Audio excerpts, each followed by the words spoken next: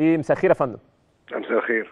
ازي. حضرتك؟ أهلا يا كابتن ازي حضرتك آه، طبعا يعني أسئلة كتير طرحت نفسها بعد الانتخاب. كان دكتور كمال درويش دلوقتي وسياده اللي هو محمد عبد السلام على وضع النادي الأهلي. في كلام إن الكابتن حسن حمدي بيفكر في الانسحاب يفكر في آه، آه، في تسويق البث لوحده. كان في كلام إن حضرتك برضو بتفكر للترشح لرئاسة اللجنة. إيه الصح فيهم؟ لا الحقيقة ما فيش تفكير في رئاسة اللجنة يعني. ده كنا هنتكلم على موقف إمبي يعني. إحنا دخلنا كعضو في في اللجنة بس أنا شخصيا يعني ما, ما عنديش الرغبة في الترشيح كرئيس.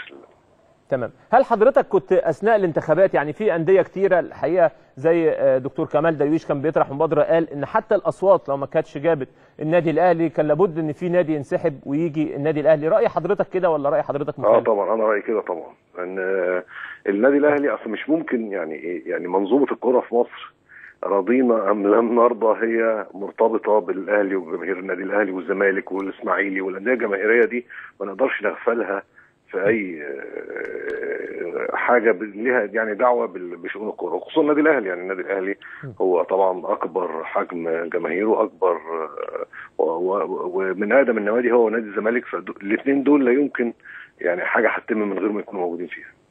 طب آه، باشمهندس يعني حضرتك أنا أنا أنا شايف مشهد برضو غريب. يعني شايف معظم حتى في الريبورتاجات اللي عملناها معظم رؤساء الأندية أو ال أو ال يعني الناس اللي كانت موجودة رأيها برضو زي رأي حضرتك إن لازم الأهلي يكون موجود. ولكن عدد أصوات اللي, اللي الأهلي أخدها يعني الحقيقة قليلة على كيان النادي الأهلي. يعني يعني الجونه قبله الإسماعيلي مصر مقاصة إمبي المنيا الزمالك. يعني حضرتك مش شايف هو لو حضرتك هو يعني النادي الأهلي كان واخد 13 صوت من 19 فهو تمام. يعني قصدي ما هو في 13 نادي مدين له يعني مش آه، 13 نادي دول مش قليلين. يعني إحنا يعني أكتر من ال- من النص. في بعض أندية ليهم وجهات نظر تانية. طبعا طالما إحنا قبلنا يعني آه، طالما قابلنا مبدأ الانتخاب أساسا مبدأ الانتخاب معناه إن أنت آه، ممكن تكسب ممكن ما تكسبش. يعني ما فيش حاجة اسمها إن أنا داخل انتخابات عشان أكسب لازم.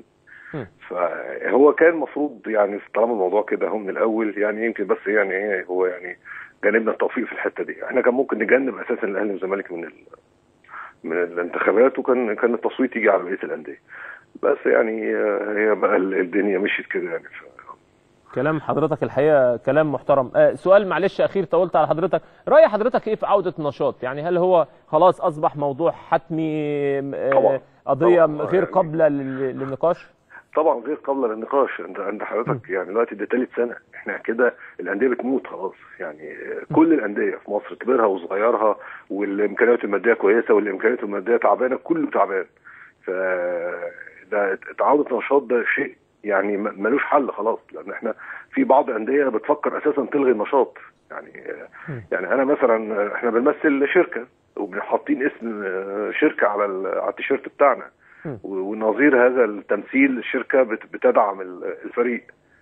طب هو يدعمه ليه؟ يعني أنا لما- أنا هو يدعمه ليه؟ بس ما بلعبش. عند أو حضرتك بلعب في مسابقة ما بتكتملش. يعني فإذا هيحصل والحالة بتاعتي دي زي في برضه في مؤسسات تانية وشركات تانية عندها نفس الوضع. يعني يعني انت كده يعني بت بتزق الأندية بإنها ت- تفلس وت- وتقفل. فطبعا دي عملية صعبة جدا. دي حاجة الحاجة الثانية إن الأندية اللي موجودة دلوقتي دي هي دي عصب الكوره النهارده يعني النهارده. معظم المنتخبات معظم منتخبات الناشئين واللاعبين يعني حضرتك شفت مثلا منتخب الناشئين ال- اللي هو. كابتن ربيع ياسين آه. معظمه من من قطاع الناشئين بتاع إمبي أو يعني طبعا. نص الفريق تقريبا م. فخسارة أندية زي دي ما أعتقد إن هيبقى ليها تأثير سلبي كبير جدا على على الكرة في مصر بصفة عامة. طبعا. الحقيقة الحقيقة وكمان مش عشان حضرتك معايا والله يعني امبي الحقيقة عاملة برضو شغل كويس جدا في قطاع الناشئين ويعني أنا كنت هناك من كام يوم شفت المدارس والوضع يعني الحقيقة منظومة محترمة يعني. الحمد لله إحنا طبعا واخد يعني إحنا ده كان أنت عارف حضرتك إن إحنا تلت تقريبا دخل ال- النادي هو عبارة عن تسويق اللاعبين ما شاء الله. التسويق اللاعبين ده بيجي من قطاع الناشئين. يعني. قطاع الناشئين بيدي لنا عناصر مميزة جدا جدا جدا. إحنا ما بنبخلش عليه بنصرف عليه كتير. بس هو الحقيقة بيجيب عائد يعني عائد أكتر بكتير من اللي بنصرفه عليه. طبعا يعني لاعب واحد آه، زي مثلا صالح جمعة زي أحمد رفعت زي ممكن آه، ممكن بيع لاعب واحد يجيب آه، طبعا. ما هو ده سنوات. هو ده طبعا ال- الفكر الاحترافي واللي إحنا بنتمناه وبتمنى لحضرتك التوفيق وبشكر حضرتك شكرا جزيلا. المهندس محمد بدر رئيس نادي امبي الحقيقة من الشخصيات المحترمة والعقليات اللي بتفكر زي ما قلت لكم. هرجع ترجم لكم الكلام ده وأقول لكم قصة الكابتن حسن حمدي هيعمل إيه في البث بس بعد الفاصل.